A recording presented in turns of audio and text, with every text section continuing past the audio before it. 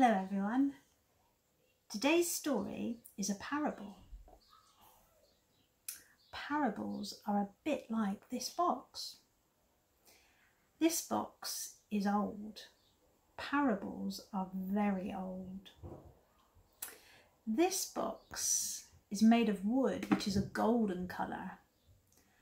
Parables are more valuable than gold.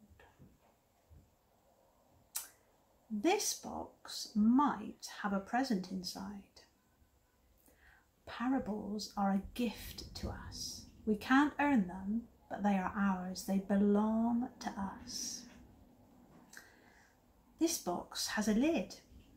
Parables are a bit like lifting the lid on God's truth, trying to understand what's inside.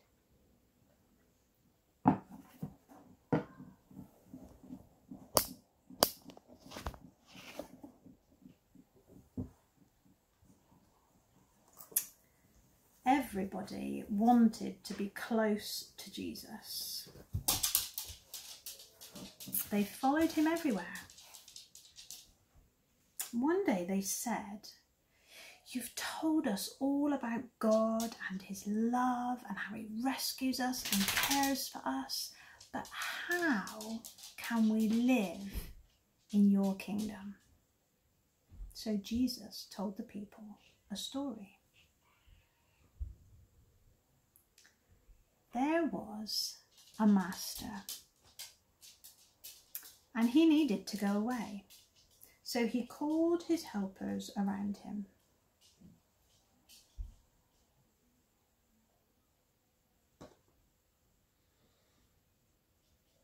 And he told them that he was going away. But while he was gone, he was leaving them his riches.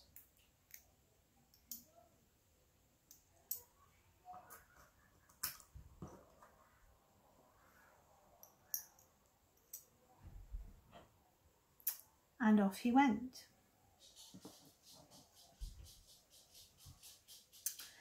The first helper took the riches and used them. He traded and bought and sold. The second helper took his riches to the poor people and he shared what he had with them. The third helper was afraid. So he took the riches and he hid them. Then, after a long time, the master came back and he gathered his helpers around and he asked them what they had done with the riches. And the first helper told the master about the trading and the buying and the selling. And the master said, Well done. And the master went to the second helper, and the second helper told the master about how he had shared the riches with the poor. And the master said, Well done. The master went to the third helper and the master said, Where are my riches? And the third helper had to tell the master that he was afraid and so he had hidden them.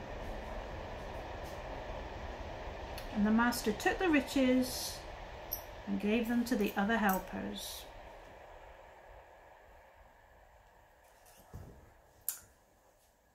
I wonder these helpers have names.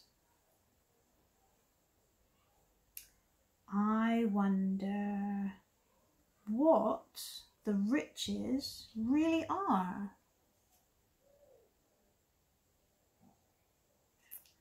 I wonder what this parable means to you and to me.